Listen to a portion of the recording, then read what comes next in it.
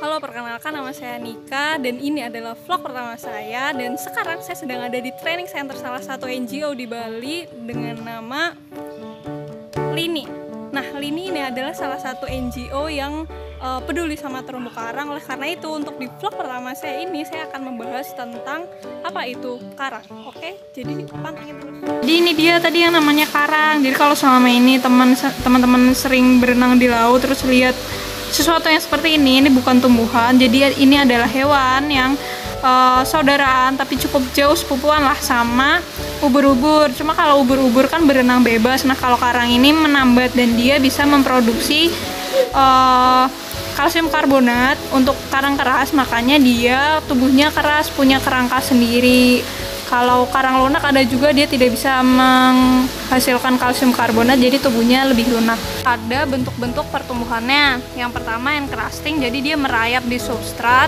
Yang selanjutnya adalah mushroom coral dia bentuknya memang seperti jamur dan yang selanjutnya adalah masif. Masif itu dia punya pertumbuhan seperti batu e, membulat Nah, terus ini ada submasif. Dia kalau masih kecil seperti branching, tapi ketika nanti sudah tumbuh besar, dia akan e, menjadi karang masif yang besar. Nah, kalau yang ini juga submasif. Ini branching coral atau karang cabang, karang cabang.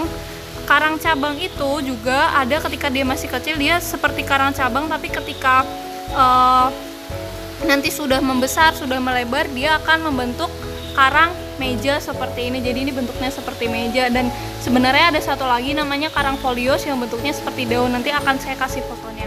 Nah yang di titik tengah itu adalah karang bentuk folios yang tadi tidak ada spesimen matinya. Dia bentuknya seperti daun seperti itu salah satunya. Uh, sudah sampaikan bahwa karang itu adalah hewan. Nah sebenarnya dia itu bentuknya polip dan dia meninggali rumah satu rumah jadi satu struktur karang itu akan terdiri dari beberapa banyak ruangan seperti kos-kosan seperti ini. Nah, lubang-lubang ini namanya adalah koralit di mana ditempati oleh satu individu karang. Ini juga ada koralitnya untuk beberapa karang, koralitnya terlihat seperti ini. Tapi ada juga yang tidak terlihat seperti ini. Jadi dia koralitnya mikroskopik. Ketika kita ingin melihat hewan karangnya, kita harus menggunakan mikroskop. Dan ada juga beberapa karang yang uh, single koralit seperti ini soliter jadi dia koralitnya lebih besar. Bahkan untuk karang-karang ini ketika dia masih punya polip dia bisa makan udang. Sedangkan untuk karang-karang yang lain yang polipnya kecil-kecil seperti yang lain ini dia biasanya makan zooplankton.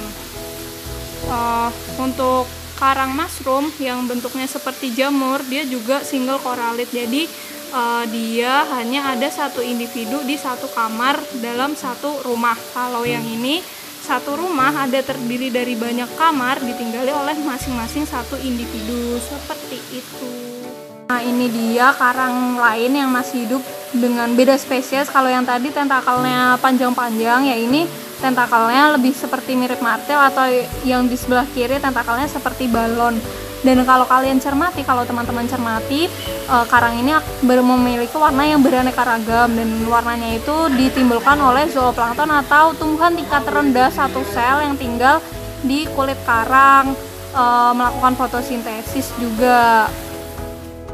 Zoosantella yang hidup di kulit karang itu tadi selain memberi warna dia juga memberi makanan untuk karang dari hasil fotosintesis. Tak akan sayangnya uh, Zoosantella ini uh, sensitif terhadap perubahan suhu. Ketika suhu terlalu tinggi dia bisa meninggalkan kulit karang. Makanya karang bisa bleaching memutih dan kemudian mati secara perlahan. Oke itu tadi liputan singkat tentang karang yang ada di LATC uh, eh, Yayasan Lini. Sampai jumpa di vlog-vlog selanjutnya. Dadah dadah dadah dadah